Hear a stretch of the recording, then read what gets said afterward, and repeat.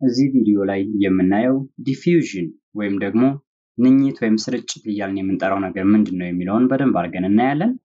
ይህንን በደንብ ግልጽ እንዲሆንላችሁ ምናልባትም እንግዲህ አንድ ሰው እንደዚህ perfume ወይም ሽቶ የሆነ ቦታ ላይ ሆኖ እንደዚህ ቢረጭ so ከዛ በኩል የተረጨው ሽቶ እኛ ጋር ሊደርስ የቻለበት መንገድ በምን አይነት ሁኔታ ነው የሚለውን ስናይ diffusion በሚባለው ወይም ደግሞ ንኝት ወይም ስርጭት ወይም ተሰራጭቶ ከዛ ከነበረበት ቦታ በመሰራጨት እናንተ ጋር እንደደረሰ የሚያሳይ ነገር ይህንን diffusion እያልን የምንጠራው part ነው ማለት ነው። ስለዚህ diffusion የምንለው the mixing and spreading out of a substance with another substance due to the movements of its particle is called diffusion ይለናል።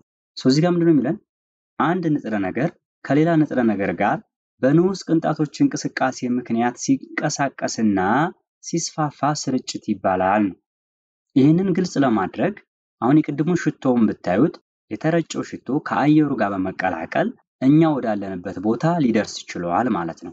ስለዚህ የአየሩ particle አለ፣ ከዛ በተጨማሪ ደግሞ የሽቶ particle አለ ማለት ነው። ልክ እንደዛም ሁሉ እዚች ጋር አንድ experiment እንስራ። ለምሳሌ ሴትዮዋ እንደምታዩት ቀለም ይዛለች ከላይ በኩል ማለት ነው። ከታች ደግሞ ውሃ ነው ያለው።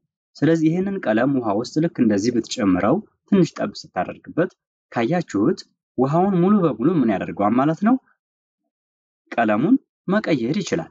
ስለዚህ ወደ pink ቀለም ሲቀየር ይሄ ሊሆንበት የቻለው ምክንያት diffusion በምንለው ሁኔታ ነው። ምክንያቱም የቀለሙና የውሃው particle አንድ ላይ ስለተዋሃዱ ማለት ነው። ከዚህ በተጨማሪ it is the net movements of particle from an area of high concentration to an area of low concentration ይለናል። so ይሄ diffusion እያልን የምንጠራው ነገር ደግሞ ምንድነው ማለት ነው ብዙ ክምችት ካለው ቦታ ወደ አነስተኛ ክምችት ወይም መጠን ወዳለው ቦታ የሚደረግ የቅንጣት አካላት እንቅስቃሴ ነው ነው የሚለን። አሁን እዚህ ጋር ቀለሙን ካያችሁት ቀለሙ መጀመሪያ ላይ ከፍተኛ የሆነ concentration concentration እያልን የምንጠራው ነገር ምንድነው በአንድ ቦታ ምን ያክል particle ኦች አሉ so በብዛት ነበረ። መጀመሪያ ላይ ቀለሙን ካያችሁት ብዙ የቀለም quantity ነበረ ወይም ደግሞ ጥቅጥቅ ያለ ቀለም ነው የነበረው።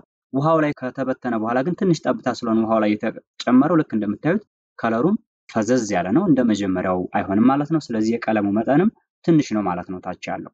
ስለዚህ ከ high concentration ብዙ concentration ከነበረው ቦታ ወደ low concentration ወይም ደግሞ ትንሽ particle ኦች ወደ ነበሩበት ቦታ የሚሄደውንም ሂደት ምን ማለት እንችላለን ማለት ነው diffusion ማለት እንችላለን። ሌላኛው concentration የሚለን እዚሁም ጋር concentration is the measurements of how many particles of a substance in that አሁን እዛ ቦታ ላይ ምን ያክል የ particle ወይም ደግሞ እንደዚህ የንዑስ ቅንጣት ክምችት አለ የሚለውን የሚነግረን ነገር ከሆነ ደግሞ concentration እያልን እንጠራዋለን ማለት ነው። ስለዚህ ንኝት ወይም ደግሞ diffusion የምንለውን በተለያዩ ነገሮች ጋር ነው። ለምሳሌ diffusion in gases ወይም ደግሞ በጋዝ ውስጥ ምን ይመስላል የሚለውን እናያለን። ስለዚህ diffusion በጋዝ ውስጥ it is very fast ይላል። በጣም ፈጣን ነው። ስለዚህ ቶሎ መስፋፋት ወይም ደግሞ መሰራጨት የሚችል ነገር ነው ነው የሚለን። ለምሳሌ ሽቶውን የቅድም መውሰድ ትችላላችሁ። ከዚህም በተጨማሪ ደግሞ ምግብ ለምሳሌ ምግብ ሽታ ሊሆን ይችላል። አንድ ቦታ የተቀመጠ ምግብ እናንተ ከርቀቱ ናችሁ የዛን ምግብ ሊሸታችሁ ይችላል ማለት ነው። ያ የሚሆንበት ምክንያት ምንድነው? diffusion በጋዝ ውስጥ በጣም ከፍተኛ ስለሆነ ቶሎ ነው እናንተ ጋር የሚደርሰው ማለት ነው።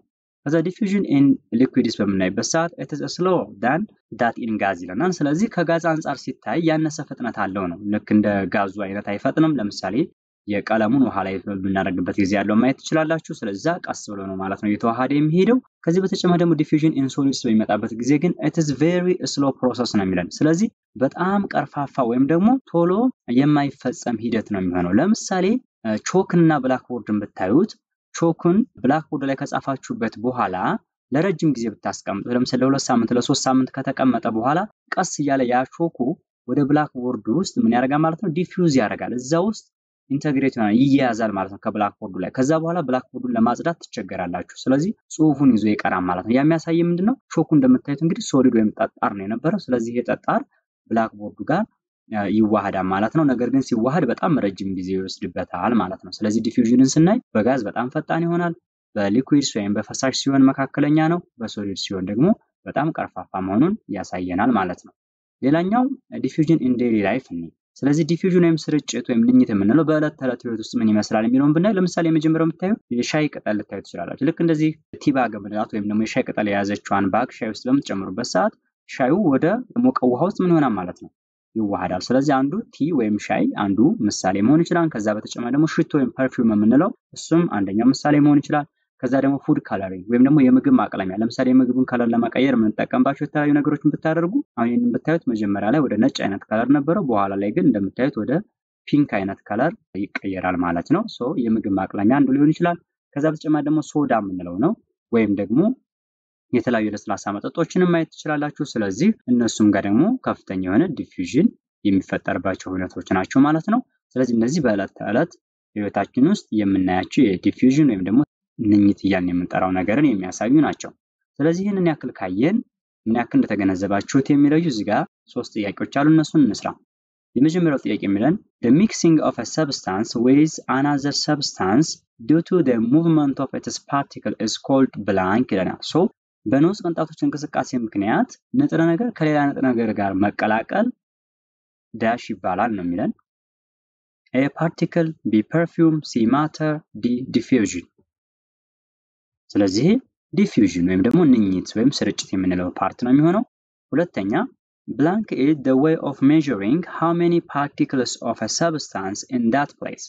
ስለዚህ በአንድ ቦታ ውስጥ ምን ያህል የንጥረ ነገር ቅንጣት እንዳለ የሚለካው dash ነው ነው የሚለን። A concentration፣ B diffusion፣ C motion፣ D matter ይለናል።